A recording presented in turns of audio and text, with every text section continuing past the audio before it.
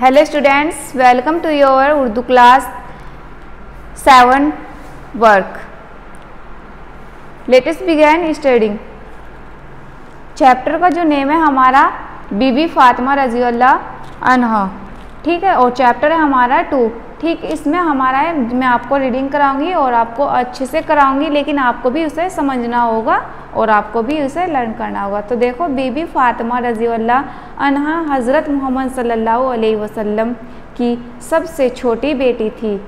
उनकी वालिद का नाम हज़रत खतीजा रज़ी अनहा था। बीबी फातिमा रज़ी अनहा नेक इबादत इबादत गुज़र गुज़र और बहुत मेहनती खातून थी। वो दिन और रात के ज़्यादा ज़्यादा तरुस में अल्लाह ताला की इबादत करती थी। उन्होंने बहुत सा बहुत सा सादा ज़िंदगी गुजारी और हर साल में अल्लाह का शुक्र अदा किया। बीबी फ़ातिमा की ज़िंदगी तमाम औरतों के लिए बेहतरीन नमूने हैं। हज़रत मोहम्मद सल्लल्लाहु अलैहि वसल्लम अपनी बेटी से बहुत प्यार करते थे। आप सल्लल्लाहु अलैहि वसल्लम ने एक मर्तबा फरमाया कि फ़ातिमा रज़ी अनहा जन्नत की औरतों की सरदार है। है, जब हज़रत मोहम्मद सल्लल्लाहु अलैहि वसल्लम किसी सफ़र से वापस आते तो पहले मस्जिद में दो रकात नमाज़ नफिल अदा करे, करते और फिर बीवी फ़ातिमा रज़ी अनहा के घर जाते बीवी फ़ातिमा रज़ी अनहा जब भी आप सल्लल्लाहु अलैहि वसल्लम से मिलने आते तो हुजूर सल्लल्लाहु अलैहि वसल्लम अपनी चादर बिछाकर उन्हें अपने पास बिठा लेते। बीबी फ़ातिमा रज़ी अनहा की शादी हज़रत अली रज़ी अनहू से हुई थी। उनकी औलाद में हज़रत हसन रज़ी अनहू हज़रत हज़रत हसन रज़ी अनहु, हज़रत हुसैन और हज़रत ज़ैनब रज़ी अनहा बहुत मशहूर है। बीबी फ़ातिमा रज़ी अनहा अपने शोहर और बच्चों की खिदमत के साथ साथ घर के तमाम काम भी खुद किया करती थी। जैसे खाना पकाना, बर्तन साफ़ करना, झाड़ू देना गला साफ़ करना और आटा पीसना। बहुत ज़्यादा मेहनत करने की वजह से आप के हाथों में गट्टे पड़ गए थे। एक मरतबा बीबी फ़ातिमा रज़ी अनहा अपने वास्ते एक खिदमत गार तलब करने के लिए हुजूर के पास गए। उस वक्त आप सल्लल्लाहु अलैहि वसल्लम साहबियों के साथ बैठे थे। बीवी फ़ातिमा रज़ी अनहा शर्म व लिहाज की वजह से हुजूर के, हुजूर से कुछ नहीं कह सके और वापस घर चली आई।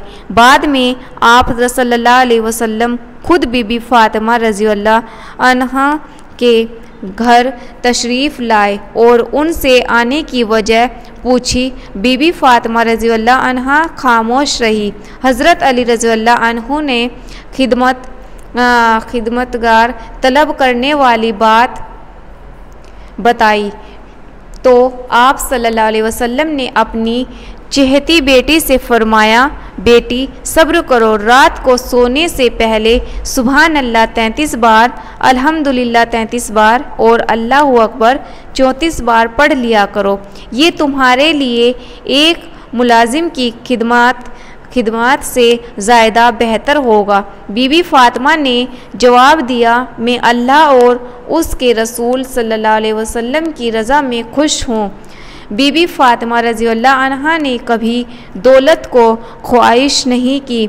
घर में खाना न होता तो वो फाके कर लेती और किसी को खबर तक न होती। इसके बावजूद जब भी मौका मिलता वो गरीबों की मदद करती करती थी।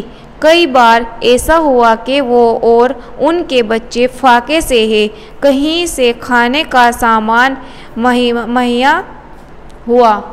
मुहैया हुआ। लेकिन इसी वक्त किसी शाइल ने साइल ने सदादी बीबी फातिमा ने रज़ी अनहा ने खाना शाइल को दे दिया और आ, खुद और खुद दान के यहाँ फाके ही रहा। बीबी फातिमा बीबी फातिमा रज़ी अनहा औरतों को ईमानदारी, खिदमत गुजार खिदमत गुजारी और मोहब्बत भरी बर्तावों की तालीम दिया करती थी।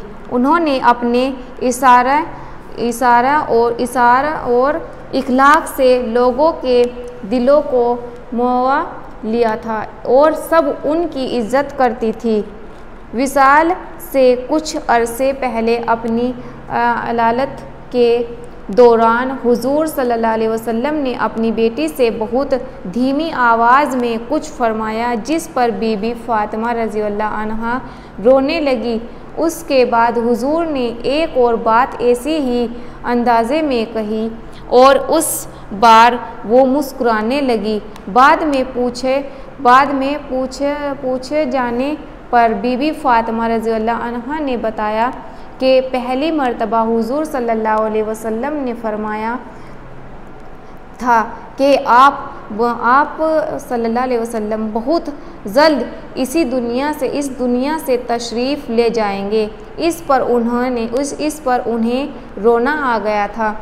इसके बाद हुजूर सल्लल्लाहु अलैहि वसल्लम ने उन्हें बताया कि मेरी औलाद में सबसे पहले तुम मेरे पास आओगी। और इस बात पर वो मुस्कुरा दी मुस्कुरा दी थी। बीबी फ़ातिमा रज़ी अनहा हज़रत मोहम्मद सल्लल्लाहु अलैहि वसल्लम के विसाल के तकरीबन छः माह बाद तीस अट्ठाईस साल की उम्र में इस दुनिया से रुखसत हो गए। बीबी फ़ातिमा की ज़िंदगी से नसीहत मिलती है कि हमें सब्र से काम लेना चाहिए, अपने घर वालों और पड़ोसियों की खिदमत करनी चाहिए, मेहनत से जी नहीं चुराना चाहिए, मुसीबत और फाके में भी खुदा का शुक्र अदा करना चाहिए। ठीक है, मैंने आपको ये रीडिंग कराई है और इसे आपको अच्छे से लर्न करना है। फिर आपके जो आपका नोटबुक का और बुक का वर्क है, वो आप जो भी है आपका इसमें बुक का वर्क वो आपको अपनी बुक में फिल करना है, ठीक है? और अल्फाज मायने सवाल जवाब है, आपको अपनी नोटबुक में करनी है। Okay thank you